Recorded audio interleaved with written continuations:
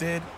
Now it encourages his teammates to move with more sense of urgency because they understand the next time down the court.